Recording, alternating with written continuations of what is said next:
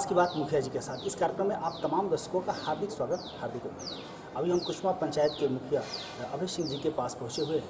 हमारी बात हो रही थी विकास की मुद्दे। अभी जो दो साल दो महीने मुखिया का जो कार्यकाल इनके साथ अभी हुआ। अ, ऐसे तो एक बहुत ही अच्छे समाज सेवी हैं। इन्होंने अपने उस पंचायत में आप लोगों को जानकारी होगा। इन्होंने इतिहास रच कर रख दिया है। इतना सुंदर पंचायत अभी तक मुझे कहीं देखने को नहीं मिला है। जी इन्होंने अपने मेहनत और लगन से काफ़ी सुंदर उसको बनाया है। इतने पिछड़े पंचायत को इतने आगे ले जाने में इनकी अहम भूमिका रही है। बहुत अच्छा लगा। तारीफ़ है काबिल है।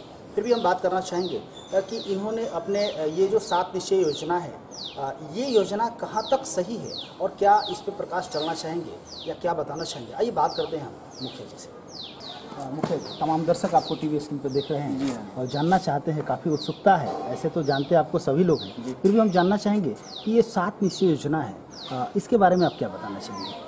देखिए सात निश्चय योजना है, ये माननीय मुख्यमंत्री जी की बहुत ही महत्वाकांक्षी योजना है। इसमें है आपको हर घर नल का जल, हर घर नली गली पक्की, हर घर बिजली, हर घर शिक्षा, इस तरह से इस तरह सात योजनाएँ हैं। जिसमें सारी योजनाएँ अच्छी हैं, लेकिन इसमें एक बहुत बारीक सा, थोड़ा सा कमी है उसमें क्या, जो इन्होंने दिया है हर घर नल का जल। ये जो योजनाएँ हैं, खास करके वैसे क्षेत्र में होने चाहिए थी, जहाँ आर्सेनिक जो आर्सेनिक प्रभावित क्षेत्र है। हमारे यहाँ चूँकि बिहार में बहुत सारे ऐसे क्षेत्र हैं, जहाँ पानी की उतनी किल्लत नहीं है, अच्छी व्यवस्था है, हर घर में चापाकल है, वहाँ लोगों को इस नल जल की आवश्यकता नहीं थी, बाकी जितनी योजनाएँ हैं छः योजनाएँ कर फिर भी चूँकि मुख्यमंत्री जी की महत्वाकांक्षा थी कि हर घर नल का जल हो, हमने उसका काम लगाया है। और माननीय मुख्यमंत्री जी 2016 के नवंबर में हमारे पंचायत में पहली बार आए भी थे। शायद इस ज़िले में पहली बार हमारे ही पंचायत में मुख्यमंत्री जी। आए थे। और आने के बाद उन्होंने हमारा विकास कार्य देखा। हमने उस समय ही उनके आने के पहले ही अब सखुआ गाँव के नौ और दस वार्ड में नल जल की पूरी व्यवस्था हमने कर दी थी। पूरी नली गली पक्की कर दी थी। वहाँ पे शोरों के लिए पिक शेड बनवाया था और मनरेगा से हर्बल पार्क बनवाया था। एक छोटा सा पोखरा मनरेगा से ही बनवाया गया था। जी। तमाम वृक्ष वगैरह लगाए गए थे जो बाद में लोगों ने उसको बर्बाद किया। तो सरकार की देखिए जितनी योजनाएँ ये चलती तो रहती हैं सरकार हमेशा प्रयास करती है लेकिन सबसे बड़ी तक दिक्कत कहाँ आती है? आम जनों की जो भागीदारी है इसमें। आम जन कभी भी नहीं चाहते हैं कि जो सरकार की योजनाएँ हैं ये बरकरार है उसको लोग नुकसान पहुंचाते तो इसलिए सबसे बड़ी जो आवश्यकता है यहाँ के लोगों को जागरूक होने के लिए। हाँ ये भी बताना भूल गए। हमारा पंचायत जो है ओडीएफ पंचायत भी था। उस समय तत्कालीन डीएम थे माननीय वीरेंद्र प्रसाद जी और उस समय की डी सी थी इनायत खान जी। जी। तो उन्होंने भी बहुत प्रयास किया था और हर घर में हमने शौचालय 960 शौचालय बनवाया था उस समय। ओडीए पंचायत हुई थी। उसके बाद माननीय मुख्यमंत्री जी दो तीन महीने के बाद हमारे सारा फंड भी उनको भेज दिए। तकरीबन दो करोड़ उनसठ लाख के आसपास हमारी राशि आई थी जिसमें दस वार्ड में करीब करीब एक करोड़ साठ लाख के आसपास हमने नल जल में खर्च कर दिया। नल जल एक महीने में सभी दस वार्ड में कंप्लीट होने के कार पे हैं। अड़सठ लाख रुपया हमने नली गली के लिए खर्च किया है। उसकी प्रकलन तैयार है काम चल रहा है। कंप्लीट कुछ काम कहीं कंप्लीट हो गया है कहीं नहीं हो पाया है। एम तैयारी हो रही है एम उनका करना है कंप्लीट करना है। तो इसमें तो कोई दो मत नहीं है कभी बिहार सरकार की जो सात निश्चय की योजना है इसमें मुख्यमंत्री ने बहुत काम किया बहुत सारे फंड दिए। अब उसमें दायित्व तो हमारी बनती है, हम मुखिया की बनती है जनप्रतिनिधियों की बनती है कि उस राशि का दुरुपयोग ना हो। सही जगह पे और सही लोगों के तक वो राशि पहुँचे। बहुत बढ़िया।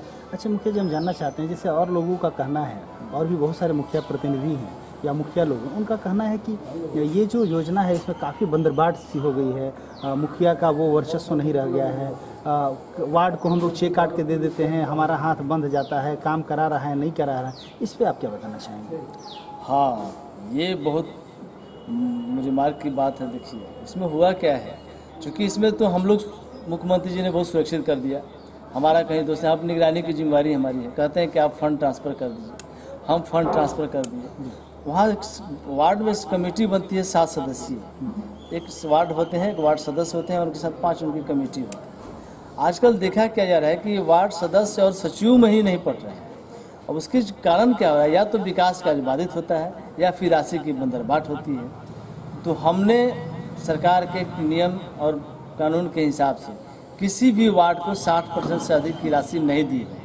ना तो अभी तक नल जल में दी है, ना ही नली गली में दी है।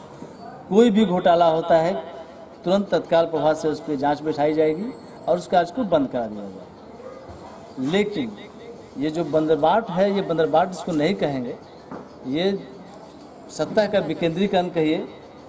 ये सत्ता का विकेंद्रीकरण है, सबको दिया गया काम।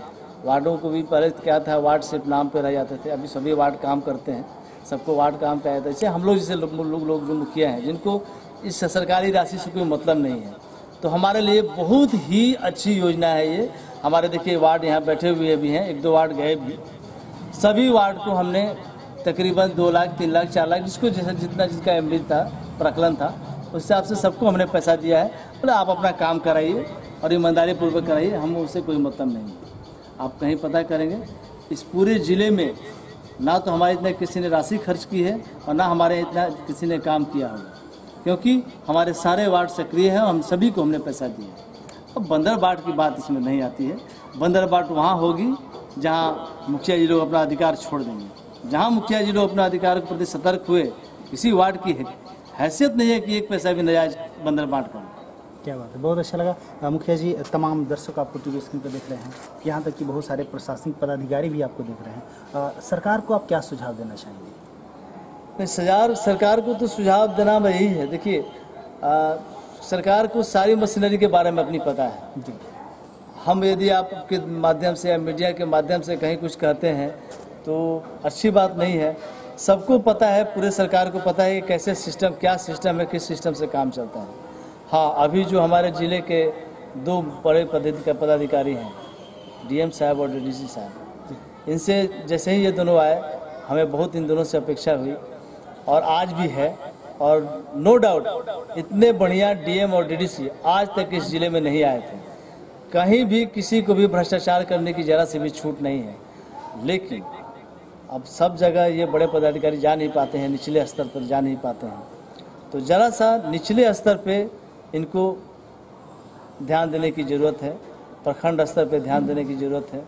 जो छोटे छोटे कर्मचारी हैं, जो छोटे छोटे पदाधिकारी हैं, ये सरकार को भी बदनाम करते हैं और बड़े पदाधिकारियों को भी बदनाम करते हैं। जो हमने कहा कि आपके माध्यम से हम कहना तो नहीं चाहेंगे, लेकिन इशारा ज़रूर करना चाहेंगे कि ये बड़े पदाधिकारी हैं, अपने निचले पदाधिकारियों को ज़रा सा देखें थैंक यू बहुत अच्छा लगा। आप लोग देख रहे थे अभी हमारी बात हो रही थी मुखिया जी से। और इनका कहना है बहुत ही सुंदर विचारधारा आप लोग के सामने इन्होंने रखा। कहीं से भी जितना शिकायत अभी तक हम लोगों ने सुना अ, सारे शिकायत को इन्होंने एक पल्ले में ख़त्म कर दिया कि कोई शिकायत है ही नहीं। जब हम अपने अधिकार को खो देंगे तो शिकायत वहीं से स्टार्ट हो जाती है। जिस दिन मुखिया को ये समझ में आए कि ये मेरा पावर है और कैसे कोई काम नहीं करा सकता है तो वो काम तो होगा ही। आप अपने पावर खुद खत्म कर रहे हैं अपने अधिकार को खुद खुद खत्म कर रहे हैं। और जो आश्रित है कि मुझे सरकार के ही फंड से नहीं थे उसी से हमको सब करना है।